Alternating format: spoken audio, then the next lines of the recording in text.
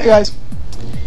Okay, um, this one's not going to be a serious one, um, though it's not necessarily going to be a goofy one either. Um, this one's going to be about mini discs, or in particular, it's going to be on how to get your mini disc recordings to be computer files you can use like MP3 files or whatever for whatever devices that you might have or whether you want to store them in your computer.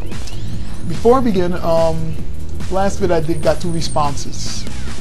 Um, one by Joe Schmo, and another one was by um, Need to Argue. To argue. Sorry if I messed up your name. Um, I did plan on responding to you guys, and I will. I will. Um, just um, got to get my thoughts gathered to get on that one.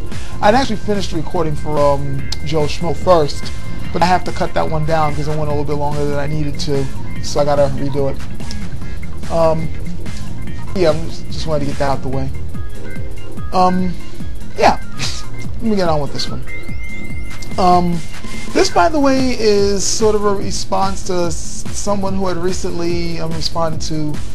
They left a comment on one of my mini disc um, vids, and the guy was saying how he bought himself a mini, a mini disc unit and recorder a while back, um, and he wanted to find out if there was any way that he can use the files on those discs themselves to become MP3s. I was going to answer him in a regular comment, but it was going to take too long, and I realized that there are probably other people out there who would probably want to get this information. So I'm going to post a response this way, so you can guys get the info here. Um, though, any, any other tips you need, any other questions, um, I'm going to put a link over there to minidisc.org. They got tons of information about the minidisc format and its units there. And you can also go on the forums with a lot of knowledgeable people there as well. I usually do go to them from time to time whenever I need a problem or just simply to keep up on information. Now, I'm sure you guys have already fathomed. You guys already know I'm a major minidisc fan. Um, to this day, I don't own a, um, an MP3 player at all. I have no reason to have one. I'm happy with this. This is my unit. It's the NH1. It was one of the first of the Hi-MD formats to come out.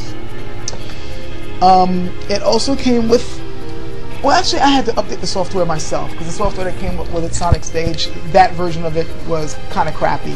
If you go back and check some of my other videos, I go into more detail about that. I don't want to waste time repeating myself here. But um, one interesting thing that they did with this newer version of software and what they started doing with this Hi-MD format is you could start importing your mini disc files into your computer for later use. You weren't able to do that before when the mini disc first came out, you know, people weren't dealing with their computers at the time to store music. And then later on, when the MP3 craze came about, since Sony was a music, they were a record company themselves, and they were all scared about pirating, and plus the DMC was cracking down on them. They had limited the amount of recordings you could do, and there was no way to take whatever recordings you made outside and put it into your computer through this format. It wasn't until the Hi-MD format came along that they freed those restrictions and starting with SonicStage, I think 3.1, it might have been 3.0, but I know I have 3.1. Um, you were actually able to take recordings and put them on your computer and edit them and do whatever. But there's a catch. The thing that they were um, marketing was what they call legacy recordings. Basically, any mini disc recordings that were made before the NetMD era are able to be imported into your computer.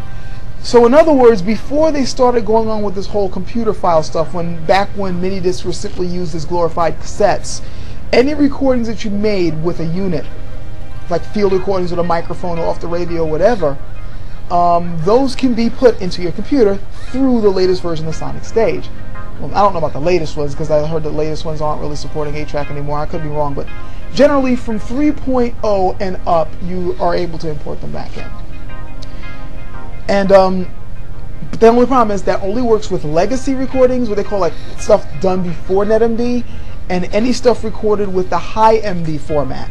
The net MD format recorders, however, you still can't put them into the computer, at least through SonicStage.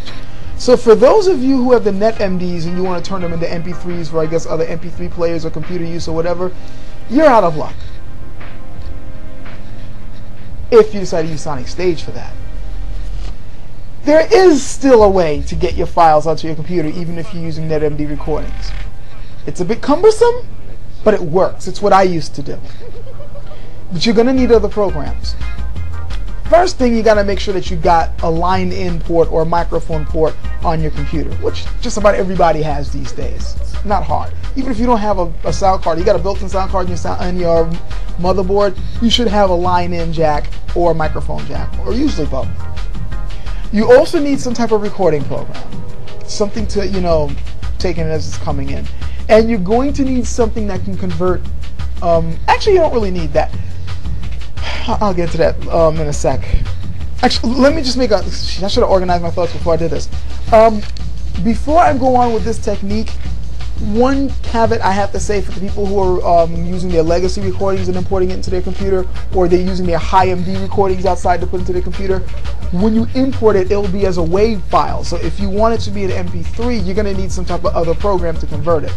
I personally recommend CDex. That's what I've been using for years. It's not the greatest one in the world, but it's a decent converting program. I usually have converted all my CDs with CDex, or if I want to turn a WAV into an MP3 or an MP3 into an OGG or whatever, I use CDex. It's free. Yeah, completely free. No shareware or any of that BS. If you want to pay, you can, but generally it's completely free. It works very, very well. No glitches, no crashes. It's what I depend on. And to get back to what I was saying about people who are stuck with NetMDs trying to put them into their computer, you could use CDex as well, though I happen to use other programs that are specifically designed to record sound. CDex is more of a converting program. You can record with it, but it's more of a recording program. I mean, more of a, a converting program. Um, if you have Acid Pro, you can use that to record off of this. Um, if you happen to have um, um, Audacity. Sorry about that. Audacity is another free program, but it's a free sound editing program, and you can record with that as well. So with a program like that, you're ready to begin. You're going to need a double stereo cable, one that plugs into your unit and one that plugs into the computer you're going to plug it. My particular thing, I have a line in jack, I have a mic jack, and then I have a line out, which of course is where you put your headphones or your remote that connects to the headphones in. That's where you're going to be putting the first end of the stereo cable. Plug it right in here. The other one is going to be going into the line in jack on your um, computer. If not, I guess you can use the microphone jack, but I don't know how well it's going to work, to be honest with you. Um, I, it's best to put it into the line in jack of the computer in the line out jack of your unit. Most NetMD units don't have a mic jack, so don't you, you don't have to worry about confusing your mic jack with your line your line out. I don't see how you could anyway. Um, but once you plug those things in, then you go to whatever you um, open up your recording program. Obviously, make sure that your recording program is going to record off of your line in. Go into your options or your settings or whatever you have to do, and make sure that when you hit record, it's going to be recording off your line in instead of with your mic. Then, of course, you get your disc you know, oh, sorry, get whatever disc you want, put it into your unit, you know, pick the tune you need to play, and when you press play, press record, and record that way. Once you finish recording, stop your recording, save it as an MP3 file or whatever file you want, and there you go. You set it up for whatever other use that you want to do. It's a bit cumbersome, I'll admit, but it works. And yeah, I'll admit it's also a bit time consuming. It's not as fast as, you know, a digital thing of just popping one file into another file. It's going to be like the old days of recording, wait for the song to end, press stop, all that. And you might have to do a little bit of fine tuning and editing just in case you got some negative space or silent spots in between your songs. But it works. It's a go around. It's what people who are stuck with NetMD used to do in order to make more than one recording, for um, more than three recordings really for their um, discs that workaround worked then and it still works today. So, yeah, that's my tip for people using mini discs who need to get their recordings off of their NetMD discs, NetMD files, and they want to put it into their computer as an MP3 or whatever. That's the best way to do it. Um, again, I'll be putting up links over there uh, from the minidisc.org site so you can go in there, check out the forums, check out the tips that they got. Um, I'm going to look up some other links for like CDex and things like that and put that up for anybody who needs to do that as well and to find those programs. And um, if there's any other questions you might have, feel free to comment or PM me and I'll do my best to give you an answer as quick as I can on this. So, yeah. Hope that helped for you guys out there. Catch you later.